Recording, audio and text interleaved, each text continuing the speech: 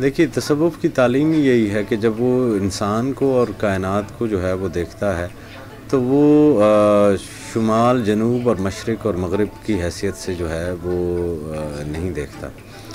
और खलीफतुल्लाह फ़िल अर्द के लिए पूरी दुनिया जो है, वो भी उसकी एक आइडेंटिटी जो है, वो ये है। तो रूहानियत की तरफ़ जो झुकाव है, वो पूरी इंसानियत का है। उसको ये कहना कि वो सिर्फ़ मगरब में या मशरक़ में जो है, वो हो तो वो मुनासिब नहीं है।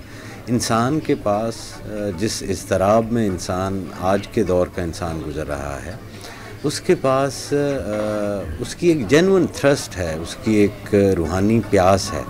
और वो चाहे मगरब में है और चाहे मशरक़ में है। जो मादे के जितना करीब होता जा रहा है और मादे की जितनी हौलनाकियाँ उसके सामने खुलती चली जा रही हैं वो इतना ही अब मादे, माबत तबैयात के अंदर जो है, वो जाना शुरू हो गया है।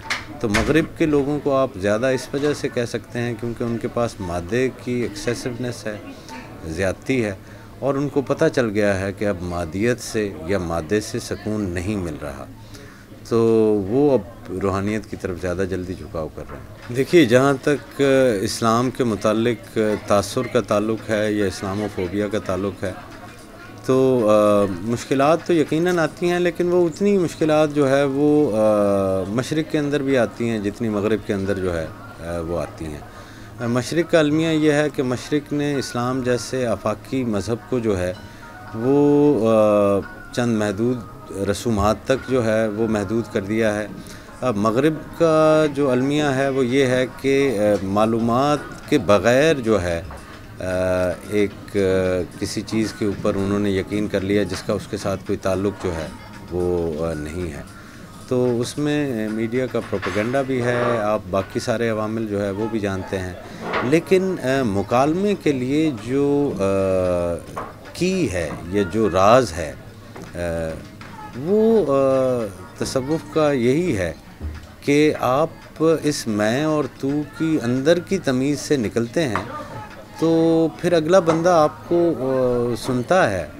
वो जब आपके अंदर से झगड़ा ख़त्म हो गया तो वो आपकी आवाज़ को ख़ुद अपने अंदर की आवाज़ जो है वो लेता है। तो ये कोई कम्युनिकेशन स्किल नहीं है कि हम लोगों के पास कोई ऐसी कम्युनिकेशन स्किल है कि हम अपना मौक़ जो है वो मगरब के सामने जो है, वो रख रहे हैं।